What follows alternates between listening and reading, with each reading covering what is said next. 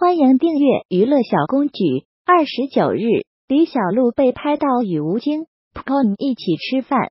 饭局结束后，三人一路前行走回 p g o n 的家中。此时，李小璐的老公贾乃亮正在直播。网友问嫂子李小璐去哪了，贾乃亮回答说弄头发去了。凌晨两点四十 p g o n 家熄灯，但始终没有等到李小璐出来的身影。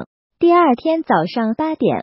P o n 去送李小璐，送完后自己返回家中，这其中到底有没有发生什么事情，真的令人匪夷所思。李小璐 PG One PG One 晚上教姐姐练说唱，她技术不太让我很难看，我没有耐心，也不知咋办。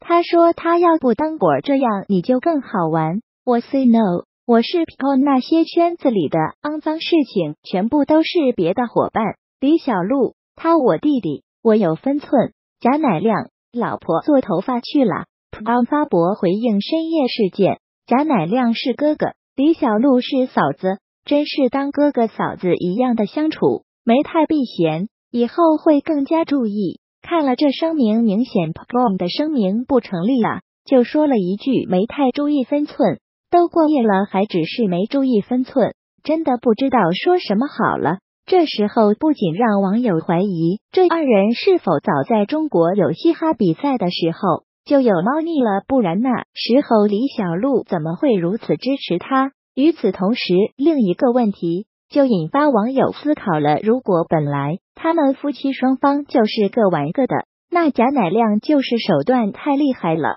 如果不是，那李小璐出轨坐实，孩子甜心受伤最大，事态具体怎么样？我们也无法深究，毕竟贵圈这么乱，大家还是静态事情。